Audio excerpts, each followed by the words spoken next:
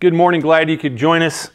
Excited about what we've got today. So, Viktor Frankl wrote the book uh, Man's Search for Meaning, and he spent years and years in um, concentration camps, Auschwitz and, and, otherwise. But he was a psychiatrist prior and after, and um, I, I, think he wrote a, a very interesting book. But he said that over the course of four years, he was at Austria's largest uh, state hospital, and he was in charge of a pavilion that had severely depressed patients and most of them had been admitted after attempting suicide.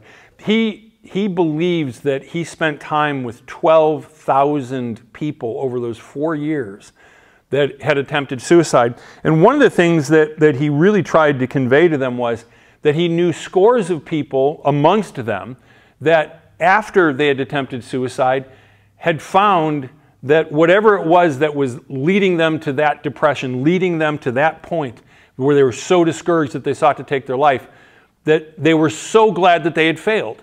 And he would communicate that. And he said, How do you know you're not going to find the meaning for your life? How, how do you know that you're not going to find that? Because so many people do.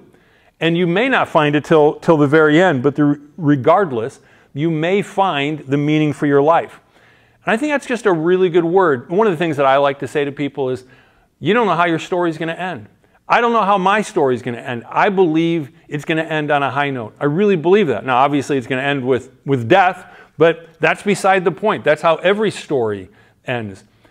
Well, isn't that the way it is with our lives that, that we're not going to fully understand it until, until it's right at the end? Let me just ask you something. I'm 62. How old are you? Well, subtract 20 years. Does life look the same to you now? If, so I'll answer for me. When I was 42, the answer is no. How about when I was 22? No, not at all. It's way different. And I can only imagine that in the final chapter, with the perspective, if I know that it's really the final chapter, down to the final pages, that I think it's going to look very, very different. One of the other things that Viktor Frankl talks about is like making a movie. And the guy who's the, the person who's making the movie, they know how the story is going to end. We, when we watch it, we don't. Now, what's it comprised of? All these individual, you know, if you take a film like that, old school movie film, not video, you've got all these different frames.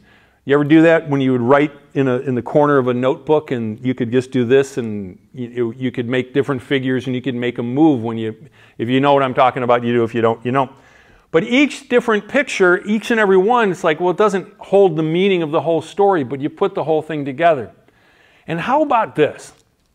Did you ever watch a movie and you're like, it's okay, it's interesting, up, down, and then at the end you're just like, wow.